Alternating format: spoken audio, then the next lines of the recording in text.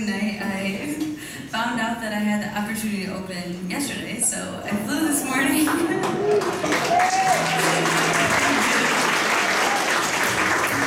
and um, I've really been making most of my 23 hours I have in New York City by eating a bagel. I visited the Taylor Swift exhibit at the Museum of Arts and Design already. Got some cookies, so I feel really good, and I hope y'all are feeling good out there too.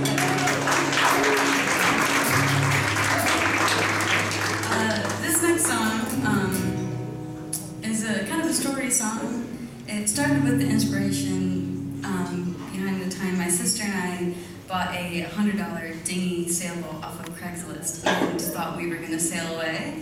Um, it was during 2020 and we were really just having a hard time, I think, mentally. And uh, we couldn't afford a sail, so we only had Walmart paddles. So you can imagine we didn't make it very far, but um, it inspired this song. Um,